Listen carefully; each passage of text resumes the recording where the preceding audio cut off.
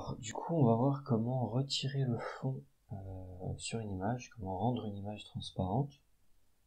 Alors d'abord, sur une image euh, qui a un fond blanc, euh, donc là, on voit si en fait on efface le fond là, si on efface, on, va avoir l'image, enfin on va avoir la couleur de fond, donc la couleur de fond qui est ici en noir. donc voilà, ça va pas marcher. Donc en fait, ce qu'il va falloir faire d'abord, c'est aller dans Calque, transparence, ajouter un canal alpha. Donc là, on a le canal alpha qui est le canal de transparence. Donc là, quand on efface, on a de la transparence. Et là, si on efface comme ça pour faire les détails, ça va être un peu compliqué.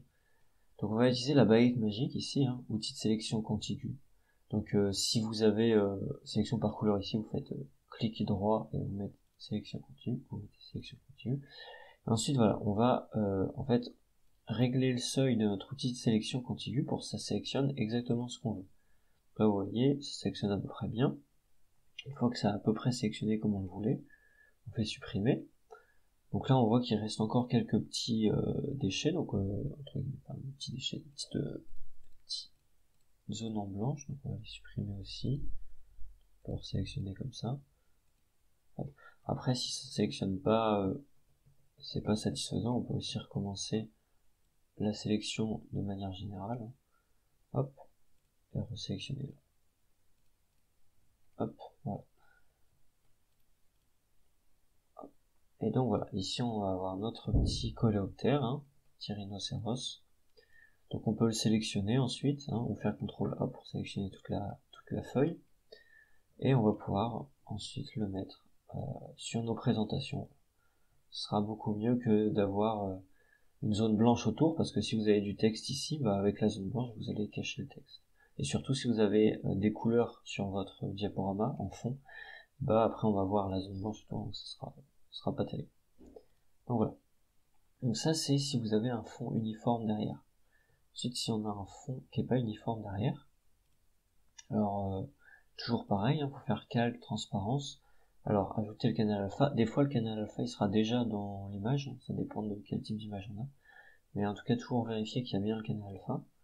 Et cette fois-ci, bon, on va y aller. Alors, il y a plusieurs méthodes. Hein. Il y a des, méthodes spéciales. Il y a par exemple l'outil d'extraction de premier plan. Mais qu'en vrai, qui est vraiment pas terrible. Donc, moi, je le fais directement comme ça. Donc, j'efface, en fait, autour. Euh, ce qui est cool de faire, c'est de, d'ajouter un nouveau calque. Un, un calque blanc. Voilà mettre en dessous, et comme ça quand on efface, on voit euh, directement, alors faut se remettre sur ce cas là, et quand on efface, on voit directement euh, ce que ça donnerait sur un fond blanc, parce que souvent, euh, souvent sur un, sur un fond blanc, c'est c'est là qu'on voit les petites imperfections de, du détourage. Donc voilà, après vous réglez la taille ici de, de la gomme, hein. donc là pour effacer on prend la gomme, et donc vous effacez le tour de le tour de votre de votre image. Vous pouvez aussi utiliser quand vous avez des lignes droites, vous cliquez, vous faites. Donc là, j'ai volontairement baissé la dureté, c'est pour ça qu'il y a un petit effet flou autour. Si je mets la dureté au max, on n'a plus l'effet flou. c'est mieux d'avoir une dureté un peu plus un, peu baissée quand même. Euh, et donc voilà, après si on fait euh, contrôle, enfin si on fait shift, clic, voilà, ça fait des, ça fait une ligne depuis là où on est parti.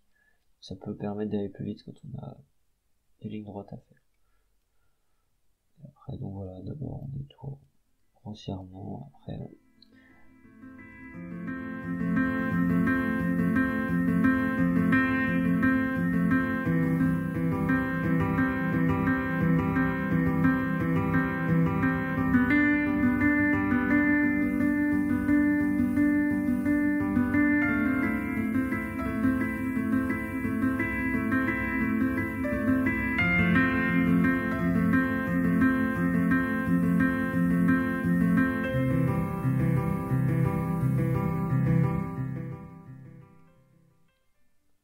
Et voilà, donc une fois que vous avez euh, détouré, bon, là c'est pas parfait, hein, euh, c'est sûr, plus vous mettrez de temps, mieux ce sera. Hein. Des fois, vaut mieux aussi un peu manger sur euh, l'image que de laisser un peu de, de verre.